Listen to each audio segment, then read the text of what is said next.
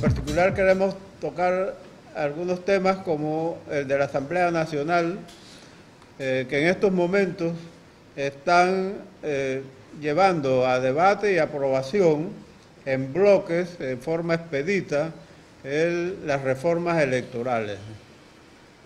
En particular, es de preocupar cómo eh, justifica el aumento del financiamiento público que ya lo considerábamos oneroso de 100 millones de balboas a 400 millones de balboas. Eh, parece algo increíble que con tantas necesidades que hay en el país, la Asamblea Nacional busque aprobar esto. Desconocemos si, eh, qué tipo de distribución van a hacer de esos 400 millones que consideramos excesivos, consideramos insultante que se dé un fenómeno como este. Así que van a usar esos, financiamiento privado igualmente y además de esos 400 millones de balboas de nuestro erario, de nuestro presupuesto, del dinero del pueblo, y que eso no excluye el dinero público ilícito que usarán también, como lo estamos viendo hoy en el escándalo publicado los días pasados, ayer y, eh, antes de ayer, eh, en videos en donde se usa fondos de la Asamblea Nacional o de nuestro presupuesto para eh, supuestamente resolver problemas en la comunidad. Y en realidad lo que hacen es pagar una pequeña cifra a gente humilde, necesitada, que firman cheques por 3 mil, eh, ha habido casos hasta de más, eh, y le dan 50, 30 balboas a los, a los firmantes, para quedarse con el resto. aparte, la planilla que tienen asignada para hacer actividades que definitivamente son para garantizar la continuidad en el poder.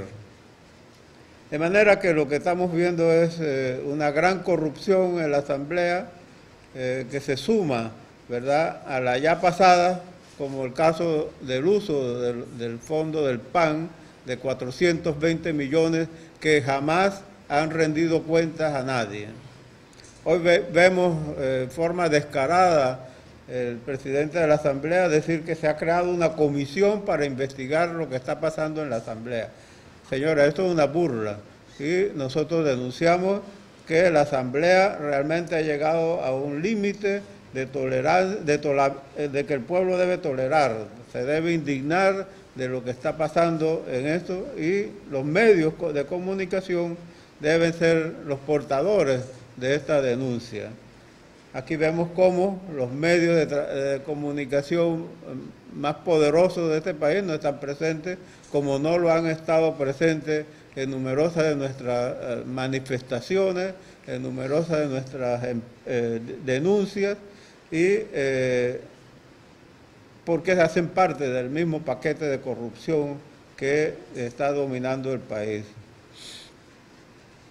Es decir, en la Asamblea Hoy nosotros sabemos que el pacto de gobernabilidad se ha constituido en una red delincuencial, ¿verdad? Que está usando fondos públicos para hacer sus, eh, sus campañas desde ya y eh, otras actividades de carácter ilícito.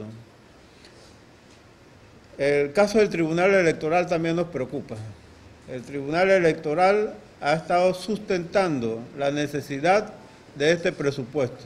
Primero los 100 millones y el, monto de un financiamiento privado. Hoy está sustentando que es necesario un presupuesto mayor, eh, que es casualmente el que está discutiendo la Asamblea eh, o está por aprobar la Asamblea Nacional. Eh, son parte de, sí, están al servicio de la partidocracia. Eso lo hemos venido denunciando desde que decidimos eh, entrar a ser parte de los procesos electorales panameños, con un partido que es el Frente Amplio por la Democracia. Por ejemplo, nos preocupa cómo, a pesar de que lo hemos denunciado, eh, y que ha salido en los medios, eh, Mossack Fonseca vende al Tribunal Electoral un software, ¿verdad?, en, en el 2014 que pudo haber sido utilizado en modo eh, peligroso, eh, desconocemos nosotros, pero ellos deben aclarar qué hicieron con ese software, por qué se lo compraron al que en ese momento fungía como presidente del panameñismo eh, en Panamá. son acusaciones, preocupaciones que el Tribunal Electoral debe aclarar. Como no han aclarado, el hecho de que nosotros hemos solicitado se nos aclaren, porque hay una diferencia de 8 mil eh, adherentes que el FAT inscribió en el pasado periodo de libros estacionarios, hay una diferencia de 8 mil firmas que no aparecen y ellos no nos han dado explicación de esa diferencia. Igual nos pasó en el 2013, donde hubo 3 mil eh, firmas que no aparecieron, eh, ellos hablaron de un ataque cibernético. Eh, no sabemos si desde dentro o desde afuera, pero aquí se están dando pérdidas de nuestros adherentes en modo eh, exagerado y que eso representa un gran esfuerzo de nuestros compañeros, una adhesión de parte de la población que es ignorada, es ocultada, es violentada por parte del Tribunal Electoral. De manera que, eh, señores periodistas, nosotros consideramos que la situación es grave, que amerita que la población se manifieste y estamos anunciando que la próxima semana, el día 14, estaremos realizando una cadena humana en la Asamblea Nacional. Eh, seguiremos con los piqueteos y seguiremos con nuestra denuncia. Sí, buenas. Eh, frente a un estado delincuencial, que es lo que está viviendo la nación panameña, eh, y decimos delincuencial porque todas las estructuras institucionales de este país están inmersas en la corrupción, en la impunidad, no hay estructura que escape y eso incluye las estructuras económicas de este país. En ese sentido, efectivamente, las pretendidas reformas electorales lo que buscan es cerrar las puertas a una verdadera participación de las organizaciones del movimiento social panameño, de los sectores que han planteado la necesidad de una real transparencia, de una conducta ética y que efectivamente desde el Frente Amplio por la Democracia nosotros estamos señalando lo siguiente.